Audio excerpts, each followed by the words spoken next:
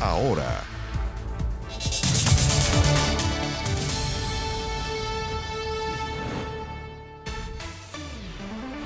Volvemos con las noticias, volvemos a Lima, Perú, con nuestra enviada especial Andrea Aguilar. Coni. Claro, porque hay reacciones tanto de los candidatos como de la gente a la primera encuesta de boca de urna. Andrea, nuevamente te saludamos. Buenas noches.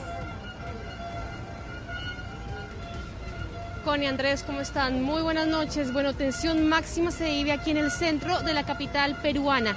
Estamos ubicados en el Paseo Colón. Le voy a pedir a Juan Pablo que pueda mostrarles un poco el ambiente de lo que se está viviendo a esta hora en la sede del partido Fuerza Popular. Es el partido de Keiko Fujimori. A esta hora se están eh, ya reuniendo sus eh, partidarios a la espera de que pueda asomarse ella una vez se cuenten ya los votos, que esto va a suceder a las 11 y 30 de la noche.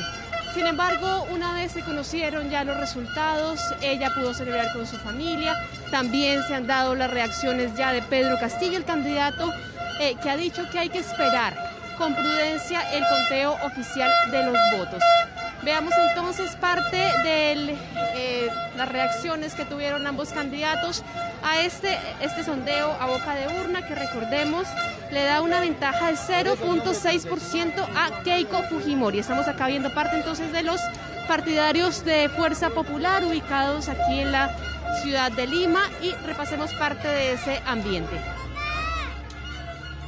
Hay que mantener la calma, hay que ser prudentes, el pueblo es sabio, el pueblo sabe lo que hace, el pueblo es inteligente. Llamo a la más amplia cordura lo que hemos escuchado no es nada oficial.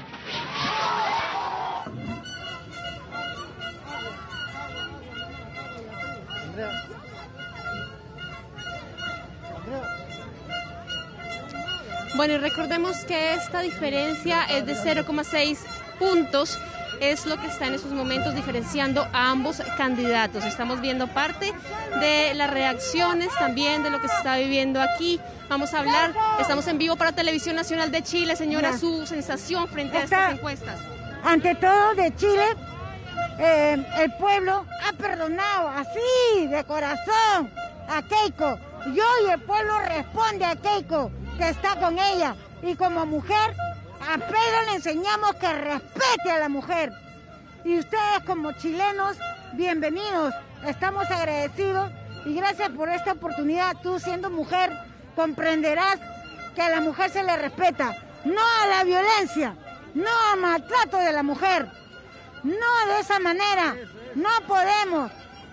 Pedro, aprende a respetar a la mujer. Muy bien, bueno, las impresiones de las personas que se encuentran aquí en la ciudad de Lima, parte entonces del ambiente de lo que se está viviendo en estos momentos en el centro de la capital peruana. Vamos a estar muy pendientes de lo que van a ser los resultados oficiales. Recordemos, 11 y 30 de la noche, 12 y 30 hora de Chile, los primeros resultados oficiales. Estaremos muy pendientes para informárselos. Exactamente, faltan dos horas entonces para esos primeros resultados oficiales. Estaremos pendientes todo el tiempo. Andrea Aguilar, en cualquier momento volvemos contigo. Si no en las noticias, será en Estado Nacional. y justamente pasamos a realizar reacciones de Keiko Fujimori tras ser conocidos estos resultados a boca de urna. Escuchemos.